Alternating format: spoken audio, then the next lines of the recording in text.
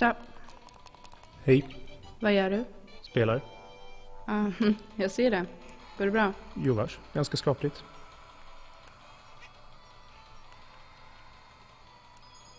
Jag hatar tv-spel och dataspel och spel och folk som spelar. Va? Så jävla sexistiskt. Men du kanske inte har märkt det? Alltså, Så jävla fräsch kvinnosyn. Folk som springer omkring med kulsprutor och medeltidssvärd och så får tjejerna typ göra det i stringbikini. Så jävla sjukt! alltså det är ju inte alltid så, men du har en poäng. Ja, och det här med att våldta. Jag har läst om tjejer som också spelar, som blir trakasserade och hotade. Det är ju inte som att resten av samhället är så jävla jämställt, men det här är ju värsta patriarkatorgin. Okej, eh, ja, kanske. Men har du inte märkt det?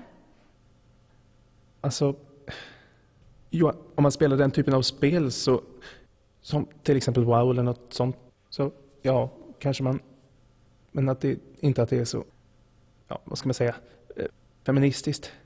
Ja men, det är ju det jag säger, det är värsta patriarkatorgin. Okej, Och det är fan inte okej.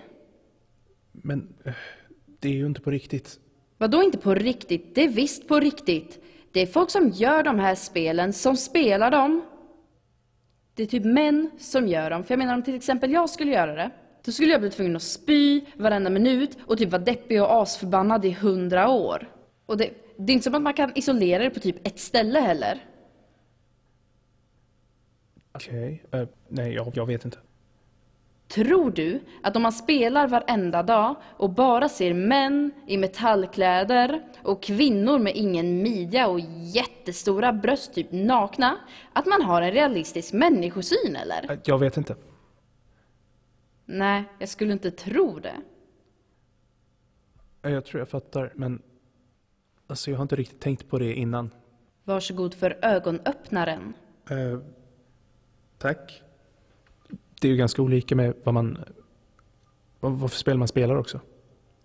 Ja men det är ändå värsta kapitalistskitet med våld och allt. Men alltså, du kan ju inte såga allt bara för att alla kanske inte orkar vara politiska eller något. Eh, Och, och, och, och ibland så kanske man bara vill fly.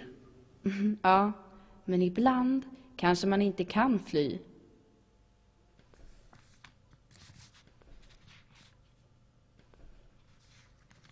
Okej, eh, men eh, vad tror du om den här pjäsen då? Jag vet inte. Jag är emot manliga genier så jag har inte läst den. Hallå, sitter ni här? Hej! Hej, Vad gör ni? Pratar. vi pratar precis om den här pjäsen.